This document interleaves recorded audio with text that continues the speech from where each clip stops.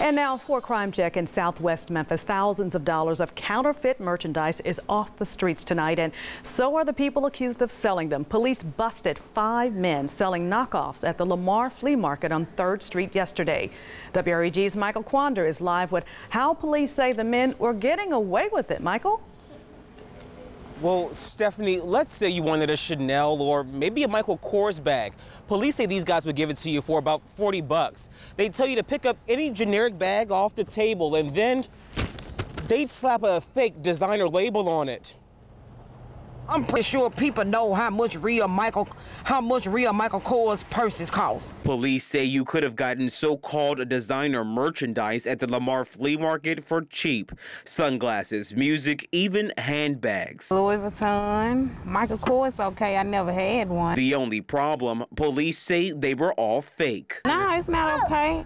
Cause I, I sure wouldn't want nobody to sell me nothing fake. The tables are empty at Third and Rains tonight, and the men accused of selling the knockoffs sit behind bars. If I spend my money on something fake, I, yeah, I'd be upset. Four of the men are accused of selling fake purses from designers like Chanel, Coach, Dolce & Gabbana, and Prada. One even offering up a pair of fake Ray-Ban sunglasses at $5 a pop. If they got some people who head out here that they can bust for them, of course they gonna sell them, you know. And police Police say this guy hustled music. He was busted with about 300 counterfeit albums. No, I no, mm, it's not shocking to me at all. Neighbors aren't surprised about the arrest after the same thing happened right across the street four years ago.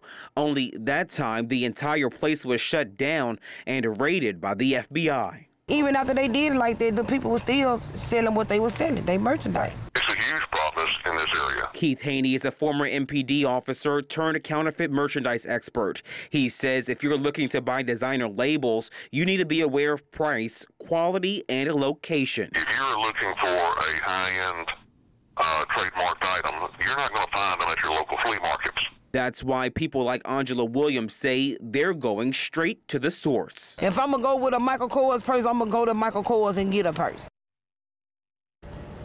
Now, police say they got more than $50,000 worth of fake merchandise off the streets, and all these guys are expected to be in court tomorrow morning. We'll let you know what happens, but for now, we're reporting live at the CJC tonight. Michael Quander, WREG, News Channel 3. All right, thank you, Michael.